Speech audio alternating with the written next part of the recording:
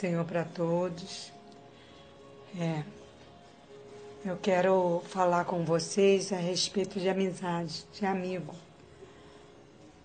A amizade é uma coisa preciosa que todos nós procuramos.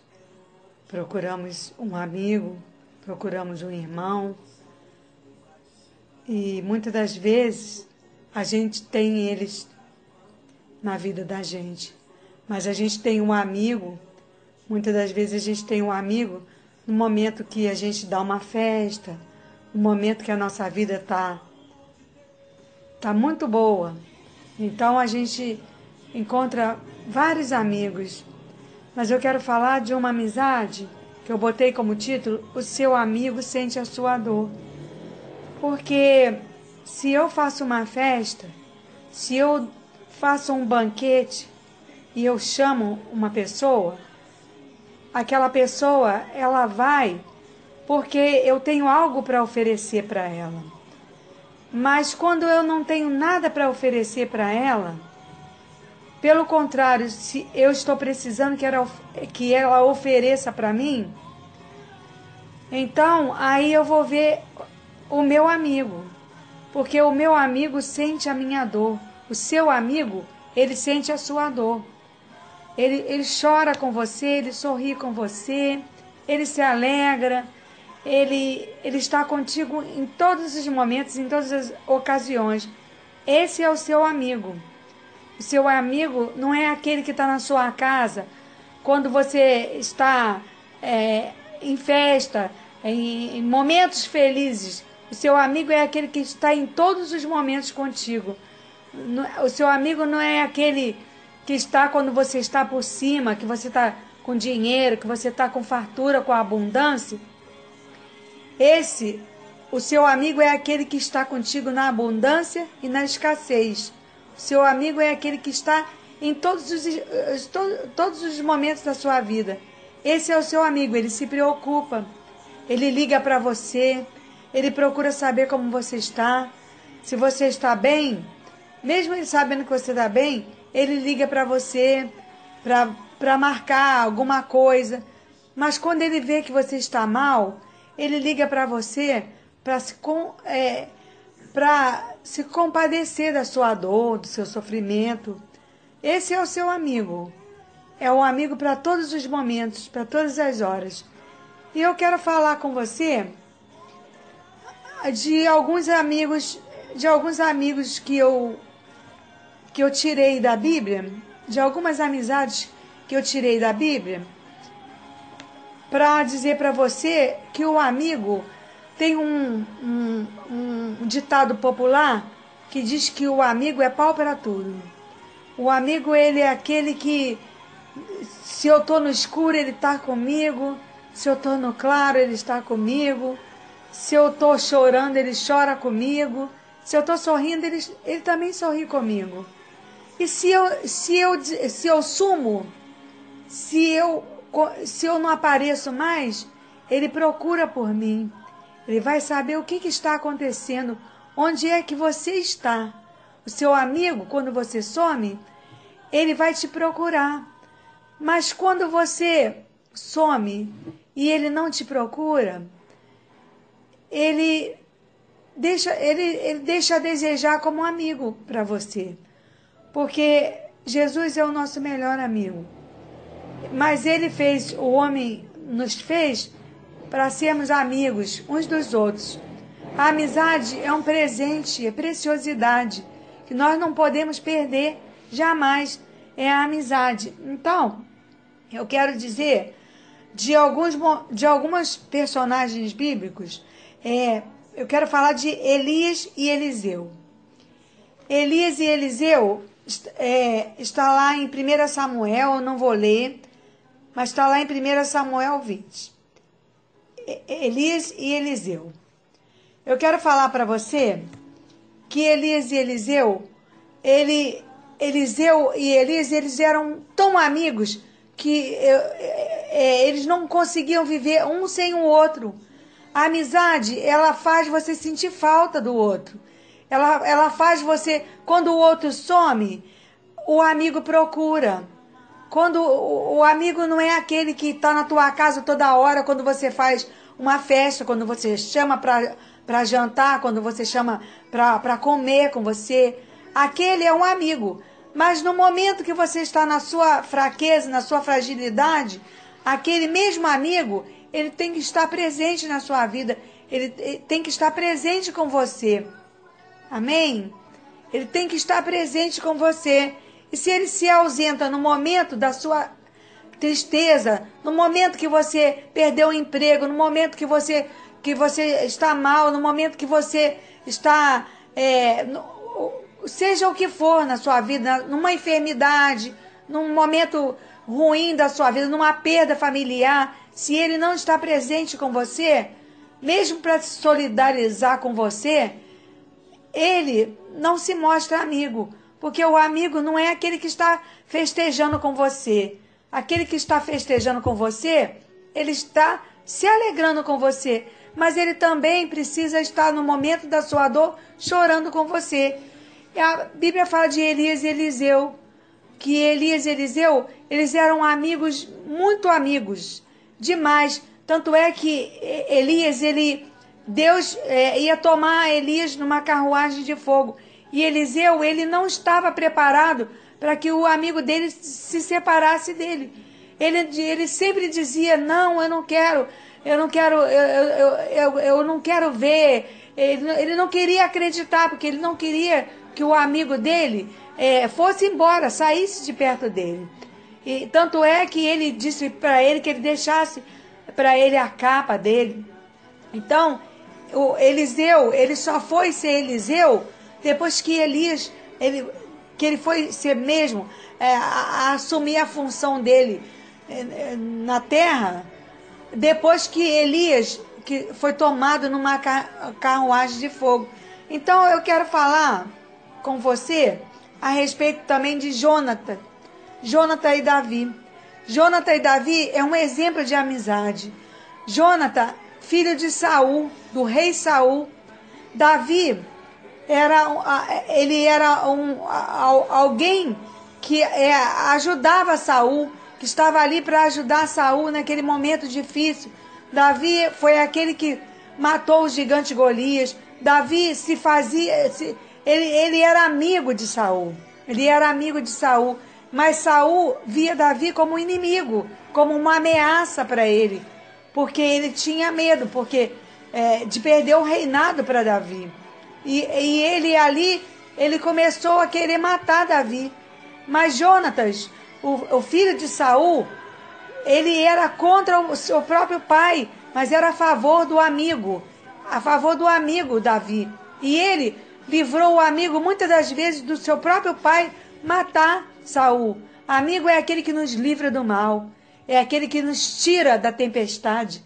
Quando a gente está num momento de tempestade, vem um amigo com a bonança. A bonança pode ser uma palavra, uma palavra doce que você vai falar para a pessoa no momento amargo. No seu momento amargo, chega alguém falando uma palavra doce. Esse é o amigo que está contigo, que está te abraçando, que está dizendo para você: olha, eu não tenho te visto, você sumiu, o que aconteceu com você? Tenho orado por você, tenho sentido sua falta. O amigo liga para você, ele pega o telefone e liga para saber o que, que aconteceu com você. Esse é o seu amigo. Quando você some que ele não te procura, que ele não quer. Não, ele pode ter anos de, de uma dita amizade com você. Mas se você some e ele não te procura, ele não é o seu amigo. Porque o seu amigo, ele vai te procurar. Quando você tiver uh, sumido, que você sumiu, o seu amigo ele vai ligar para você, vai pegar o telefone e ele vai ligar, ele vai procurar saber o que, que está acontecendo com você. O que, o que, que está acontecendo? Que eu não te vejo mais, eu não estou eu não, não, não tô ouvindo mais falar de você. O que, que está acontecendo com você? Esse é o amigo. Agora, se você chama ele para ele ir na sua casa, porque você está dando um banquete, uma festa, e ele vai, e no seu momento de dor ele não vai, ele não pode ser o seu amigo. O seu amigo ele está em todos os momentos com você. Esse é o amigo. lá também eu, eu quero eh, falar de José do Egito. José do Egito e seus irmãos. José do Egito e seus irmãos. Ele, José, se ele foi vendido pelos irmãos. Os irmãos dele não foram amigos dele. Jogaram ele num, num, num, num poço, num buraco. Venderam ele como escravo. Mas mesmo assim, no momento da, da, da escassez, quando não tinha alimento, quando não tinha nada, ele se mostrou amigo para os irmãos. Aqueles irmãos que fizeram todo mal para ele, ele, ele pagou com bem. Não se paga o mal com o mal se paga o mal com bem. Ele mostrou que ele era amigo e ele pagou o mal com bem, porque ele alimentou o pai, alimentou os irmãos no momento difícil, no momento de escassez. Ali era um momento de fome. Mas de repente você está num momento de fome, um momento de fome de alguém falar uma palavra para você, de alguém te levantar que você está caído, essa pode ser a sua fome. A escassez no momento lá do José do Egito, quando faltou alimento, e José do Egito ele teve um sonho e ele começou a estocar, a guardar alimento.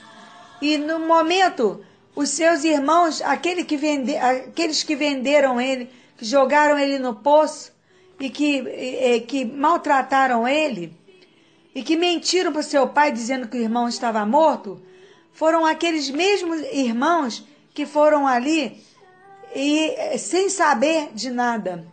E eles foram lá porque eles estavam com fome. E aquele irmão, se tivesse morto, não estaria matando a fome deles.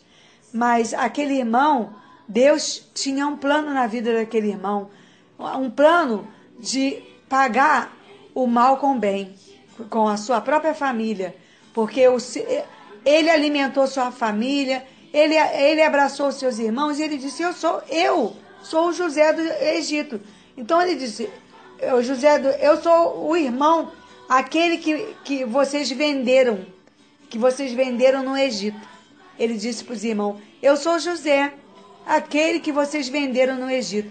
Mas ele foi amigo, amigo, porque ele não guardou mágoa, não guardou rancor, não guardou ressentimento, ele não guardou nada. O que ele guardou foi amor, porque no momento difícil da vida dos irmãos, José se revelou amigo.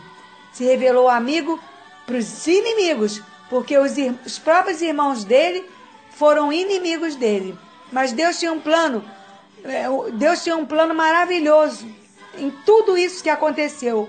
As coisas às vezes acontecem na vida da gente e a gente não entende. José, ele foi maltratado pelos irmãos, ele foi vendido pelos irmãos, ele foi jogado no poço. Ele, os, os irmãos mentiram para o pai dele que ele estava morto, mas José não pagou o mal com o mal. José, ele pagou o mal com o bem. Ele salvou a, a vida dos irmãos que um dia jogaram a vida dele no lixo, mas ele salvou a vida dos irmãos. Glórias a Jesus, louvado seja o nome do Senhor. O Senhor é aquele que nos quer bem. E nós, como servos do Senhor, temos que querer bem a todas as, as, as pessoas na face da terra. Amém, meu primo Jorginho. Valéria Menegus, Deus te abençoe. Neuci Oliveira, Deus abençoe. Então, José do Egito é um exemplo de amigo, um exemplo de amigo, porque os anos passaram, ele poderia ter guardado aquele ressentimento, aquela mágoa, mas ele disse, ele disse para os irmãos, eu sou José, aquele que vocês venderam. Ele teve a oportunidade de dizer para os irmãos, eu sou José, aquele que um dia vocês venderam lá no Egito, e hoje eu estou aqui matando a sua fome, porque eu sou o irmão leva para casa, leva para o meu pai, leva para leva para casa. Ele pensou nos irmãos. Então, o amigo é aquele que nos seus momentos difíceis, nos seus momentos de alegria, de tristeza, ele está sempre do teu lado, ele está sempre contigo. Eu também quero dar um exemplo de Ruth e Noemi. Ruth e Noemi é um exemplo maravilhoso. É um exemplo maravilhoso que a Bíblia nos dá.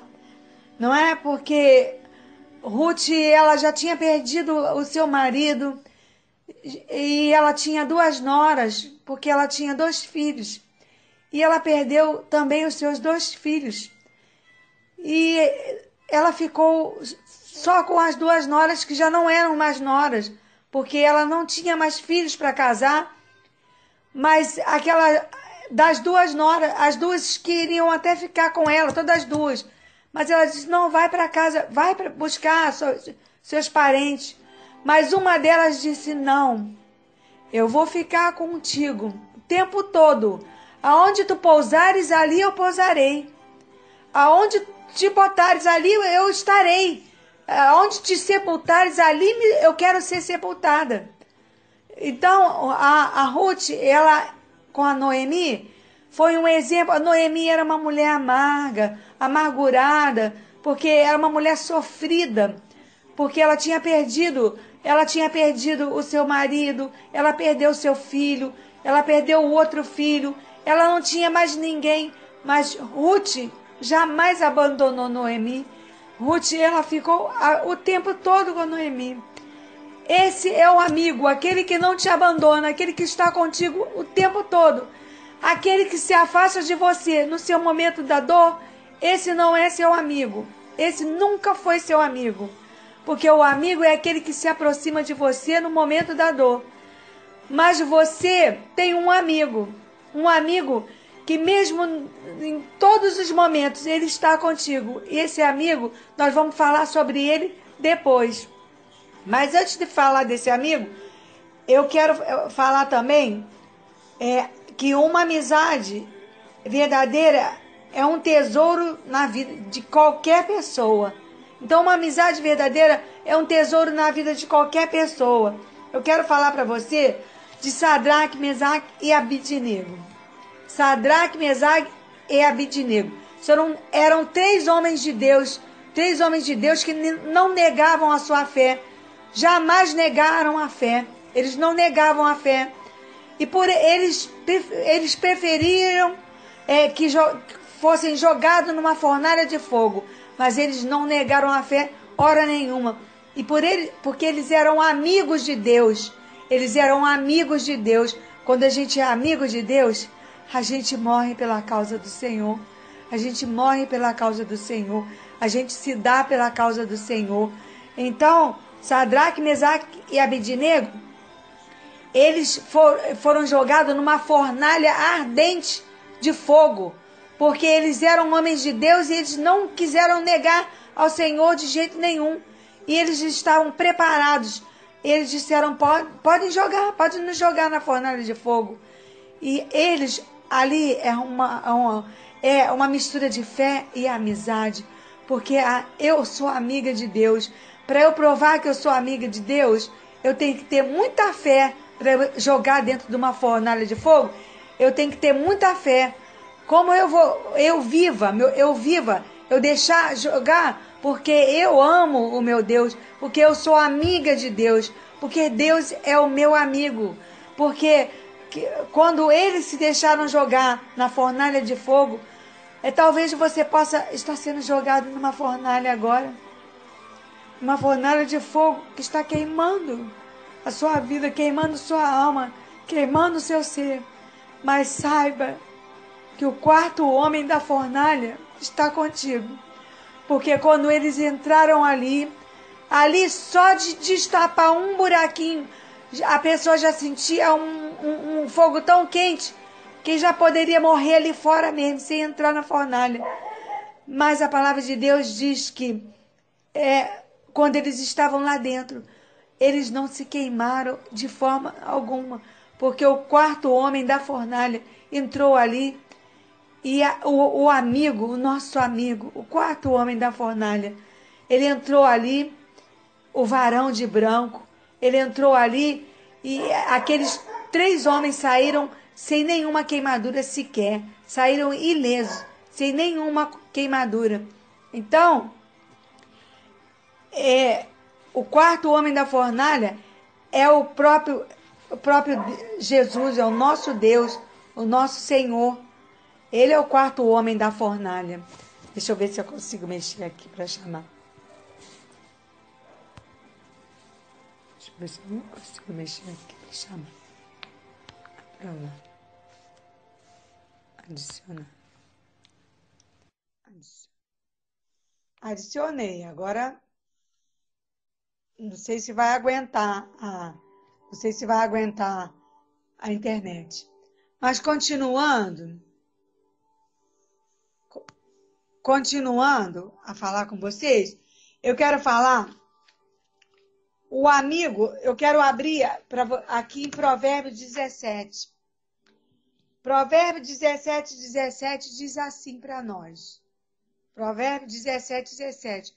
É, eu não estou conseguindo é, colocar você aqui, não estou conseguindo de jeito nenhum, mas que você possa participar dessa live.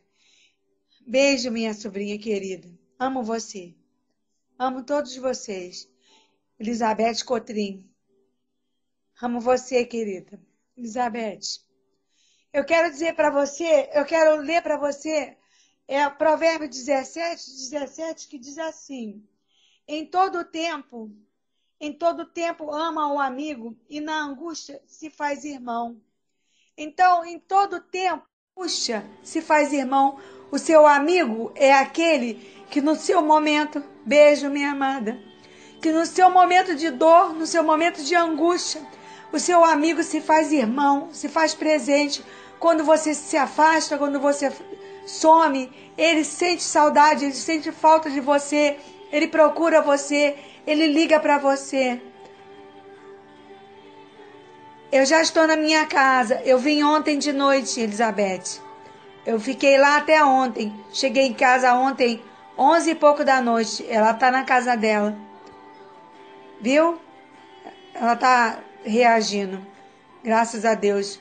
Deus está trabalhando. Tá difícil, mas, mas Deus está trabalhando, está tá agindo. Amém? É difícil. Então, então aqui diz que em todo tempo, no, no, no Provérbio 17, 17 diz assim: em todo tempo ama o amigo e na angústia ele faz irmão. Então, em todo tempo, quando você dá amor para o seu amigo, na sua angústia ele se faz teu irmão. Quando você tem um amigo que você zela pelo seu amigo, não, tá lá com a, com a mãe dela. Tá lá, tá, tá na pavuna. Em todo o tempo, Elizabeth Cotrim, ela tá lá na Pavuna com a, com a mãe dela. Ela vai embora semana que vem. Então, em todo o tempo, quando você ama seu amigo, quando você dá amor ao seu amigo, no seu momento de angústia, esse seu amigo, ele vai se fazer irmão para você. Porque é, as, tem muita gente dizendo que é amigo, tem muita gente dizendo que ama, que é amigo, mas é um amigo que é um amigo no momento da sua festa, que você dá uma festa, que você tá, tá alegre, tá numa festa, aí todo mundo é amigo, todo mundo te quer, todo mundo quer, porque você tá oferecendo alguma coisa. Mas quando você não tem nada para oferecer, aí você precisa do amigo. Porque o amigo precisa estender a mão, ou você também, eu, preciso oferecer a minha amizade. E a minha amizade é no momento não só da alegria, mas eu, eu tenho que estar amigo não, em todos os momentos. Se eu tiver desempregado, meu amigo vai se afastar de mim porque eu perdi o emprego, porque agora eu, eu agora tenho um outro status, o meu amigo agora não quer mais amizade comigo. O amigo é aquele para todo tempo, em todo tempo da nossa vida, ele é o nosso amigo. Então o amigo entra na fornalha contigo é aquele que entra na fornalha, é aquele que entra no fogo. Se você está no fogo, ele entra com você. Se você está no refrigério, ele está com você. Se você está, no, na, se você está na prosperidade, com certeza ele vai prosperar junto com você, porque ele vai estar naquele ambiente com você. Mas se você está na dor, ele precisa estar presente com você, porque o maior, melhor amigo é aquele que estende a mão para você quando você está caído. Porque no momento que nós estamos caídos, é no momento que nós precisamos que alguém estenda as mãos para nós. E é nesse momento que a gente vê os amigos. Os amigos são esses que você vai ver no momento que você está caído. Porque no momento da festa, no momento que vocês estão trocando uma festa, que vocês estão be brincando, bebendo, se divertindo, você está ali numa amizade e de repente aquela amizade acabou a festa, acabou a amizade. Entendeu? Acabou, é como que se diz, acabou o vinho, acabou a festa. Então, na verdade, o amigo, ele é para tudo. Ele é para todos os momentos da sua vida. Então, aquele que ama, Elias amava Eliseu. E ele ficou muito é, triste quando ele ficou sem. O, o, Eliseu ficou muito triste quando Elias se foi. Quando o Senhor tomou Elias é, numa carruagem. Diz que é, o Senhor tomou o Elias numa carruagem. E também é, Jonatas era filho de Saul. Saul era inimigo de Davi. Mas Davi era amigo de Jonatas. E Jonatas jamais, Jonathan jamais abandonou Davi.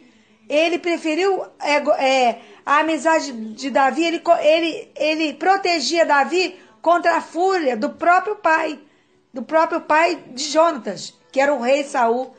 Então esse era um amigo.